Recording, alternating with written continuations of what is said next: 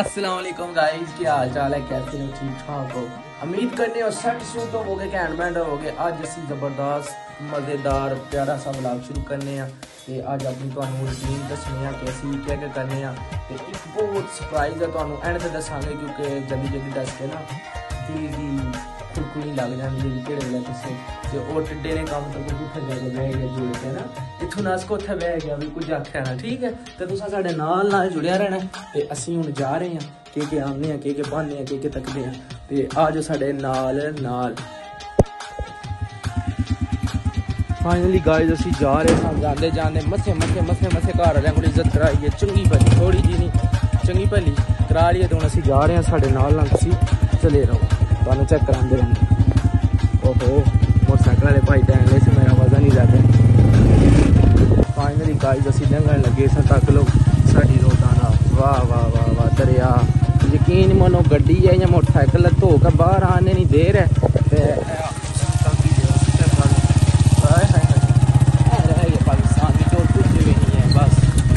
ਸਾਹਮਣੇ ਦੇਖੋ ਕਿੰਨੀ ਪਿਆਰੀ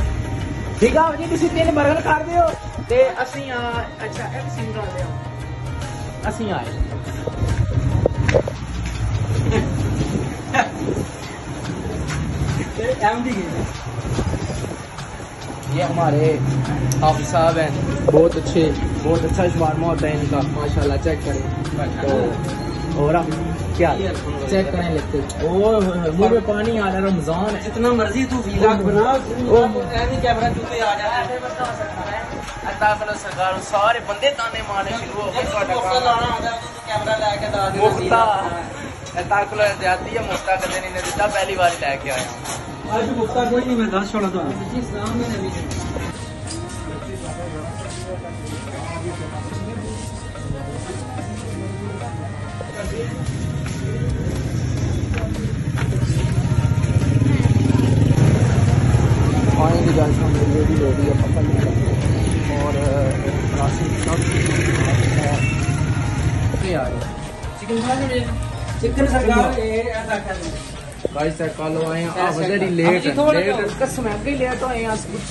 چیزاں لے کے آ گئے لیکن بھی بندے بند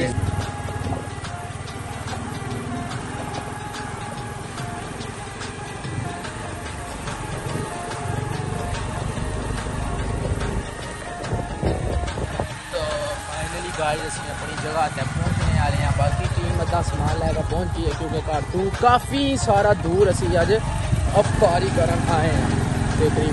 والی سائڈ آئے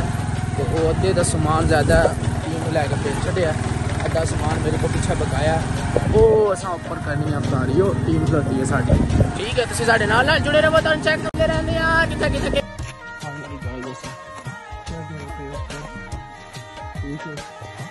ਸਾਰੀ ਆ ਰਹੀ ਹੈ ਤੇ ਜਾ ਰਹੀ ਹੈ ਠੀਕ ਹੋ ਗਿਆ ਸਾਡੇ ਮਾਲ ਵਾਲੇ ਭਾਈ ਤੱਕ ਪਹੁੰਚ ਆਏ ਤੇ ਐਪੋਰਟ ਪਾਸ ਉਸ ਤੋਂ ਪਹਿਲਾਂ ਪਹਿਲਾਂ ਵੀ ਫਾਇਲ ਮੁੰਡੇ ਦਾ ਕਾਲ ਫਾਈਨਲੀ ਗਾਇਆ ਉਸ ਪਹੁੰਚ ਆਏ ਤੇ ਸਾਡਾ ਇਹ ਸਾਹਮਣਾ ਪੁਆਇੰਟ ਹੈ ਅਫਤਾਰੀ ਵਾਲਾ ਤੇ ਕਾਫੀ ਦਿਨਾਂ ਤੋਂ ਪਲਾਨ ਬਣਾਇਆ ਸੀ ਦੋ ਚਾਰ ਲੜਕੇ ਮਿਕਸ ਮਿਕਸ ਸੌਰੀ ਮਿਕਸ ਉਹ ਲਫ਼ਜ਼ ਨਹੀਂ ਆ ਰਿਹਾ ਗਾਈ ਬਨ ਮਤਲਬ ਨਹੀਂ ਆ ਸਕੇ ਤੇ ਸਮਾਨ ਸਮਾਨ ਅੱਧਾ ਸਮਾਨ ਸਾਰਾ ਉੱਤੇ ਹੈ ਠੀਕ ਹੈ ਤੇ ਬੜੀ ਲੇਟ ਪਹੁੰਚੇ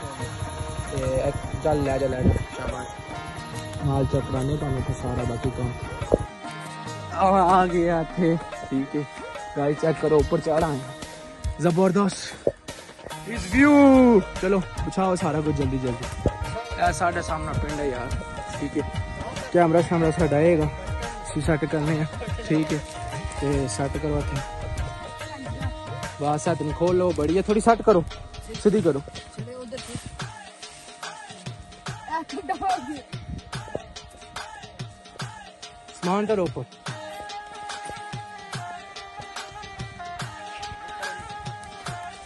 سیٹنگ کرنے دیا جناب روزے نو ہلے تقریباً سا بڑا چڑھ گیا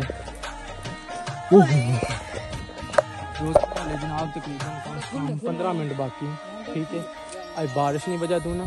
موسم کافی سارا چینج ہو گیا ٹھیک ہے لیکن سیٹنگ کر دیں لڑکے ٹھیک ہو گیا سانس ہی بڑی چاڑی ہے گھر تو کافی دور آئیں نا